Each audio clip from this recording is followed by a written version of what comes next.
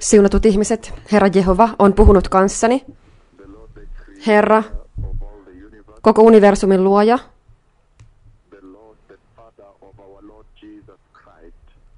Herramme Jeesuksen Kristuksen Isä ja Herramme Jeesuksen Kristuksen Jumala. Hän on puhunut kanssani. On kaksi keskustelua tänä yönä. Yksi keskustelu, joka tapahtui yöllä, jonka jälkeen meillä oli suuri konferenssi piispojen kanssa, vanhempien piispojen, varaarkkipiispojen kanssa, Keniaan liittyen. Herra vieläkin anelee rauhaa, joten kaikkien tulisi tietää, että on herätys tässä maassa ja on suurempi syy olla rauhassa ja jatkaa töitänne tavallisesti, koska olette jo valinneet johtajanne ja julistus tullaan tekemään. Näette, kuinka Herra pitää rauhaa yllä voimallisesti huolta kansakunnasta. Muistakaa, rukoilemme tämän kansakunnan puolesta. Pidämme yövalvojaista. Meillä on suuri määrä vanhempia piispoja, jotka ovat täällä. Meidän kokouksemme jatkui syvälle yöhön kuitenkin. Me vieläkin muistamme Keniaa. Herran palvelijat vieläkin muistavat tämän maan rauhaa, jotta voitte pitää kiinni töistänne, perheistänne. Tämä tulee olemaan kaunis skenaario, missä nyt vaalit eivät liity enää verenvuodatukseen. Nyt Nairobin kadut, löydätte ne täynnä. Ihmiset menevät töihinsä tavalliseen tapaan. Se on kuin Sveitsissä. Sveitsissä vaalipäivänä. Et koskaan tiedä, että vaalit ovat meneillään. Kaupat ovat auki, ihmiset elävät normaalia elämää. Ja tähän me saavumme nyt. Tämä on tosi voimallista, että Herra pitää kiinni rauhasta maassa ja ylläpitää herätystä tässä maassa. Muistakaa, jos to, jotakin tapahtuu, joka pitää yllä rauhaa, on Herran herätys. Mutta Herra on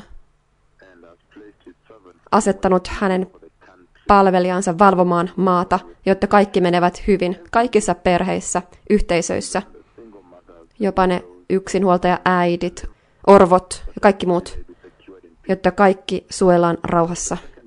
Toisessa keskustelussa Herra, joka Herralla oli kanssani tänään aamulla, Herra on vienyt minut halkimaailman ja puhunut Messian tulemuksesta. Tuossa keskustelussa liittyen Messian tulemukseen Herra on näyttänyt minulle, kuinka on jumalattomuuden ja pahuuden kasvu joka on jo tässä maailmassa. Ja se tulee täyttämään maailman, se pahempi on tulossa. Ja Herra kaikki valtias Jumala vei minut valkoihoisten ihmisten maahan tuossa maassa. Herra näytti minulle, kuinka ihmiset menevät ostoksille tuolla maanalaisiin kauppoihin, jossa he ostavat vaatteita. On valtava homoseksuaalisuuden kasvu, joka on tulossa. Uskomaton homoseksualismin kasvu, pahuuden jumalattomuuden, joka on tulossa maailmaan. Niin että he, jotka olivat ostoksilla, olivat hyvin aggressiivisia siihen saakka, että ei ollut enää turvallista. Herra laittoi minut sisälle sinne, ja te näette, kuinka ovat aggressiivisia kaduilla ja siellä maan alla on hyvin suuri kasvu, vakava kasvu jumalattomuudessa, pahuudessa, joka on tulossa maailmaan. Se tulee olemaan uskomatonta, hirvittävän shokeraavaa, sietämätöntä. Ja te näette paljon ihmisiä menevän perversioihin, homoseksuaalisuuteen. He ovat hyvin aggressiivisia. Se oli uskomaton hetki. Joten Tämä on suunta, mihin maailma on menossa. Ja Herra Jeesus sanoi sen hyvin selvästi, että kun näette kaiken tämän tulevan maailmaan, niin tiedätte, että Messias on tulossa, kun kuulette tämän tyyppisen julistuksen tulevan taivaasta, että tulee olemaan kasvu laittomuudessa, maailmassa, kaikessa kauhistuttavuudessa. Silloin voitte tietää, että Messias on tulossa, ja tämä tulee suoraan sen jälkeen, kun hänen voitelunsa, joka puhuu kanssanne, on kasvanut vertikaalisesti valtavalla vauhdilla. Tämä kertoo teille hyvin hyvin selvästi, että Messias on tulossa. Herra vei minut ja näytti, kuinka he löivät. Ihmisiä oli turvattomuutta, se oli tosi sokeraavaa. He, jotka olivat ostoksilla, näin turvamiehiä, jotka yrittivät turvata ihmisiä. Tuo jumalattomuus, homoseksualismin pahuus tulee kasvamaan maailmassa. Se tulee olemaan sietämätöntä, kauhistuttavaa. Joten Messias on tulossa. Muistakaa, että ikuisuus, iankaikkisuus on tosi pitkä, todella todella pitkä. Iankaikkisuus on tosi tosi pitkä aika. Tarkoitan, voit viettää sata vuotta tässä maailmassa. Laadullinen elämä ei ole enää niin vahvaa silloin, mutta ikuisuus, miljoonan vuoden jälkeen ikuisuus ei ole vielä alkanutkaan.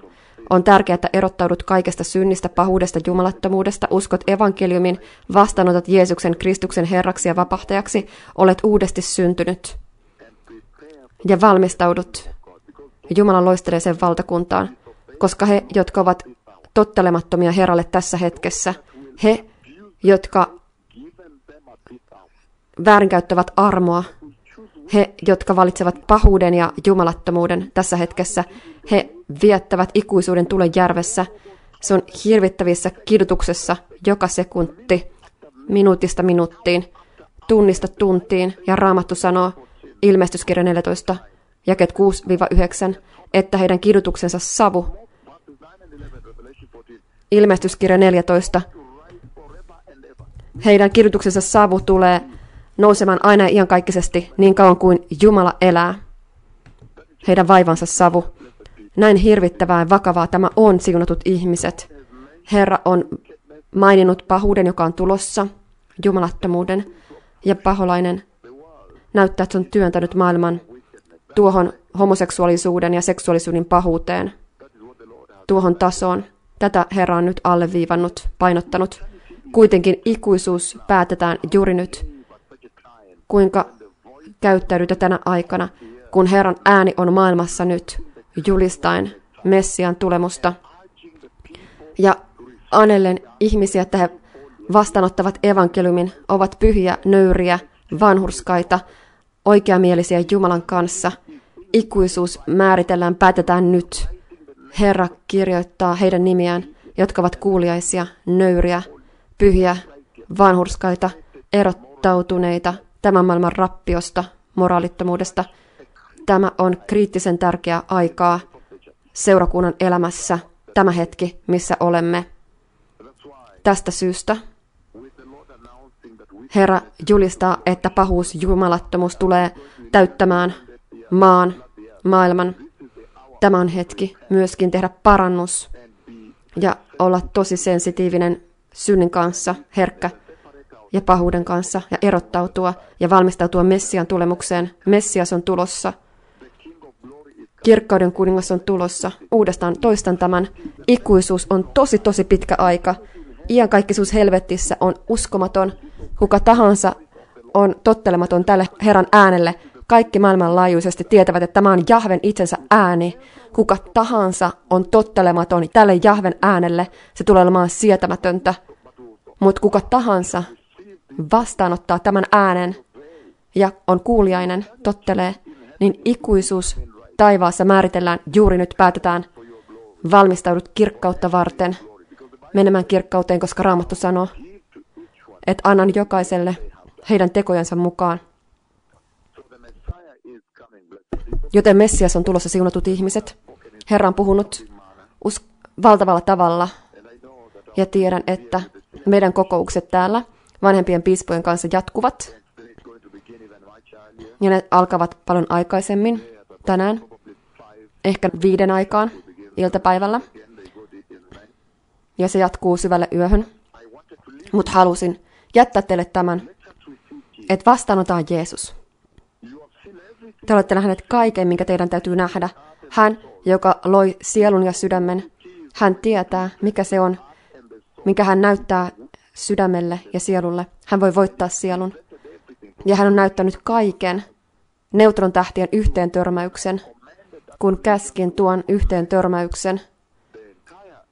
Koko maailma, koko universumi vapisi tämän äänen kautta, joka kuulette nyt, kun käskin koronaviruksen maailmaan tähän päivään saakka, kun käskin sodan, jonka näette Ukrainassa juuri nyt.